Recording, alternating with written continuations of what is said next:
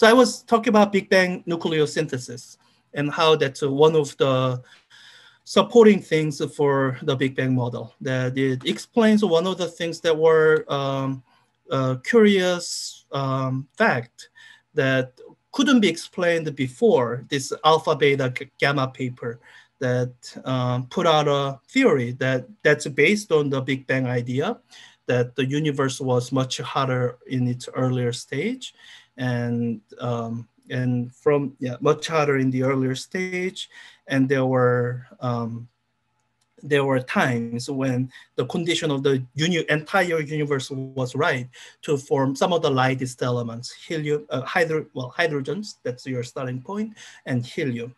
Um, and and um, so that's a question that's uh, answered within the Big Bang model.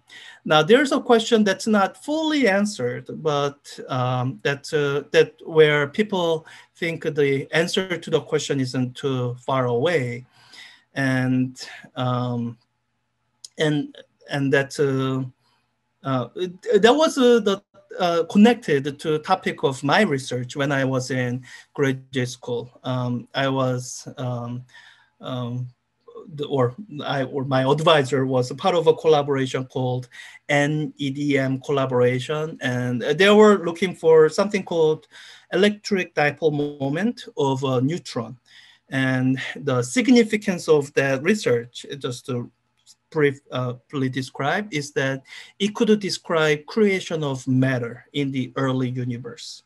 So when I showed this figure earlier, I was saying how, commenting how this figure in particular isn't really explaining anything. Um, this is what I mean. Um, so, so in the universe that exists today, we have an imbalance of electrons and positrons. By imbalance, I mean we have more electrons than positrons.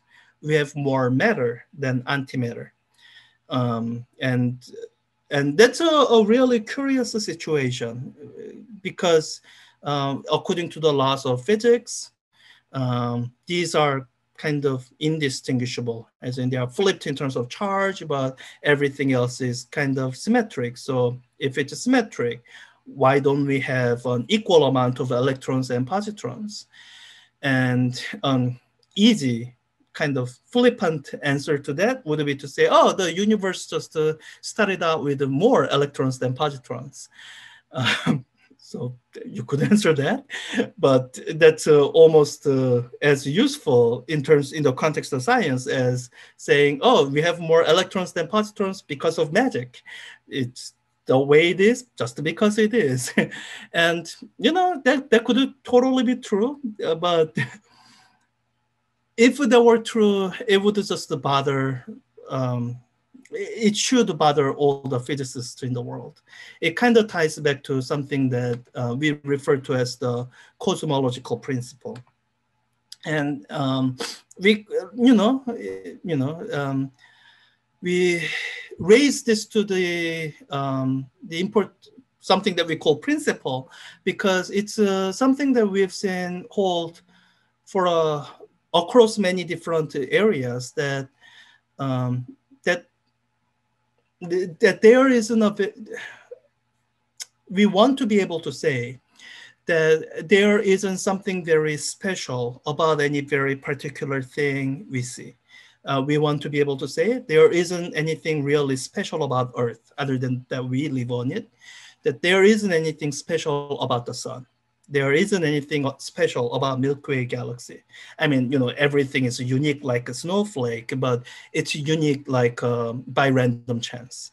It's uh, um, that's what we want to say, and the uh, cosmological principle says the universe is about the same everywhere, as in any one particular part of universe is not any specially different, and what we would really like to be able to say is to extend that to everything.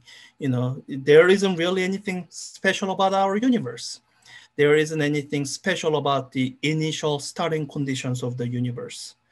So if we say that we have an imbalance of matter and antimatter because that's just how things are. That's kind of a violation of that principle because um, we would have to say there is something special about the amount of starting matter, starting imbalance between the matter and antimatter in our universe, and that imbalance was just enough to create the stars and the galaxies we see. And um, and we feel, uh, or I think a, a physicist should feel that's a very unsatisfying answer.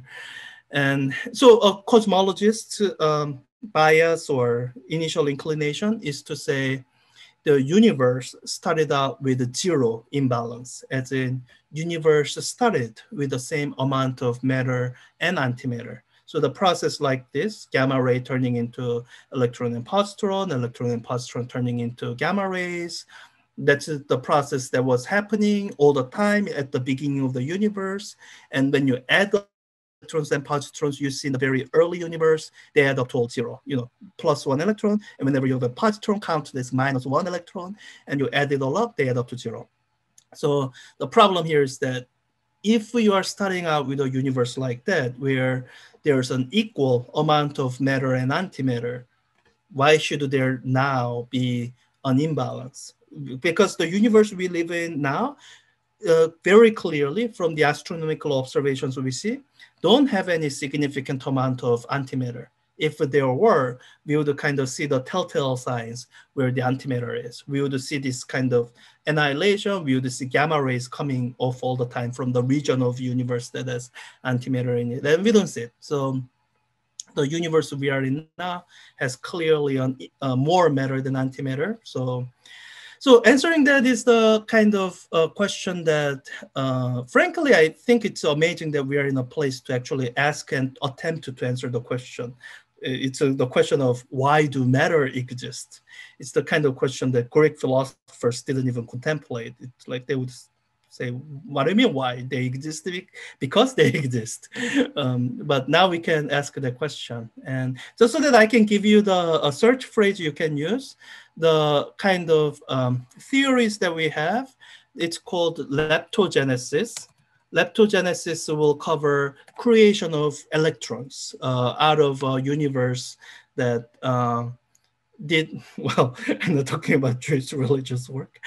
Um, creation of um, creation of electrons out of a universe that had uh, didn't have an asymmetry between electrons and positrons. And uh, there's a counterpart for the protons and antiprotons and that would be called uh, baryogenesis and the and the, the research i was doing connects here um, because if they find uh, electric dipole moment of neutron, that would help uh, fit into a piece of the puzzle that is required to explain baryogenesis. So, so this is still an active area of research. Um, it's all the there are plenty of missing pieces here, so I don't want to um, say that we know everything. Um, I think the things that I would uh, point out is something called the Sakharov conditions. Uh, yeah, so um, so and um, so this this is the set of conditions that uh, someone uh, proposed that if they existed, that would be sufficient to, to explain uh, uh. And uh, this is something that's not in our current standard model of particle physics. Um, to have this, you need something called grand unified theory, which people are still working on. Well, no, whenever people are still working on this. Uh, the phrase grand unified theory comes from something that Einstein said. So people have been working on it for, it's going to be 100 years pretty soon. Anyways, there's that. Uh, this part is what connects to the electric dipole moment of um, neutrons.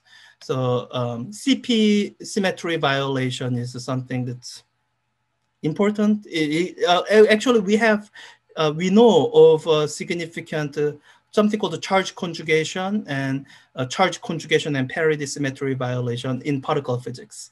This is something that's already detected.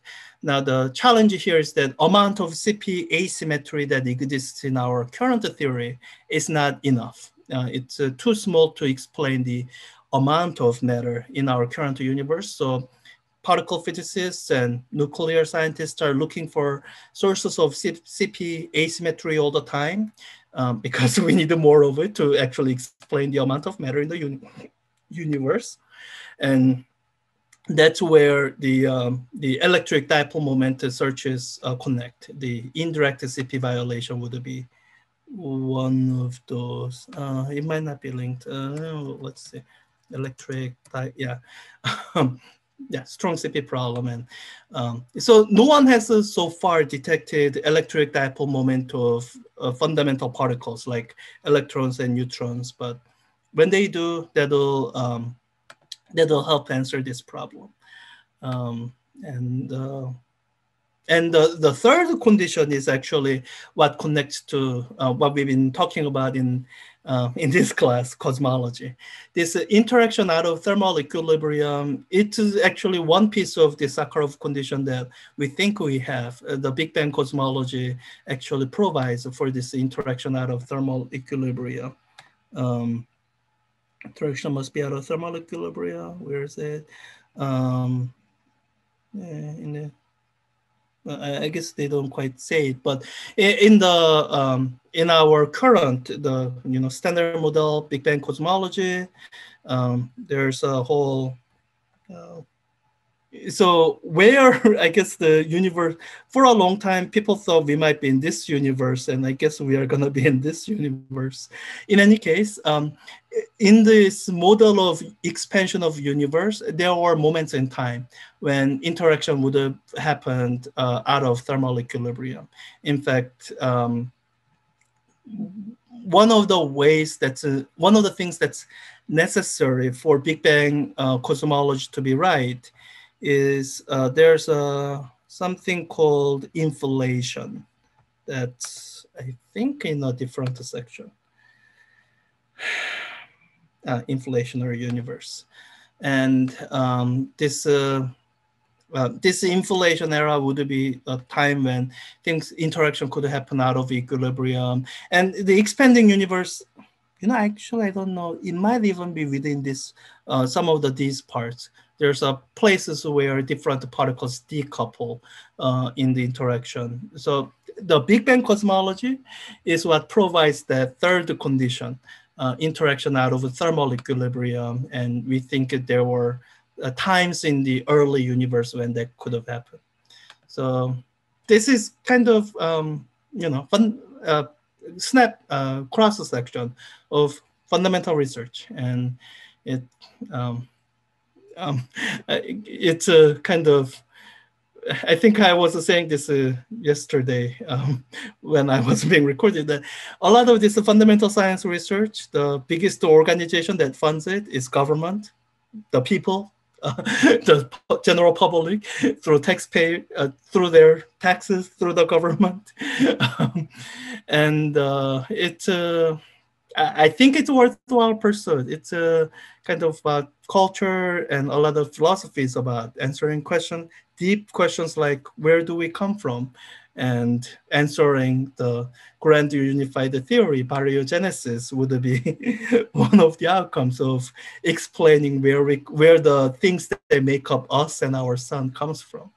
And um, and you know, I, no one expects there's any profit to be made out of research like this, which is why um, which is why the people have to fund it out of the generosity of their heart.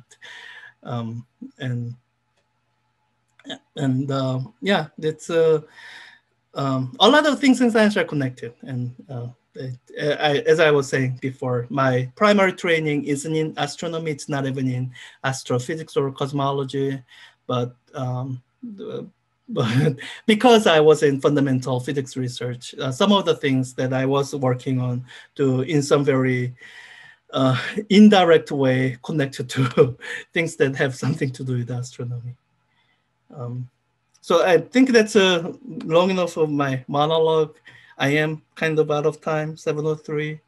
So let me, I, I guess I never got to this point, um, which is fine. You know, if you know where to find the stellarium, you can look around yourself. And yeah, I, I think I've demonstrated it enough in an earlier session, so I don't think I need to